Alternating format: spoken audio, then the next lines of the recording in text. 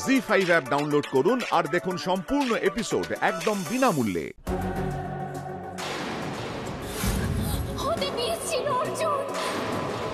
কিচ্ছু হবে না কিচ্ছু হবে না ঠিক হয়ে যাবে ঠিক হয়ে যাবে।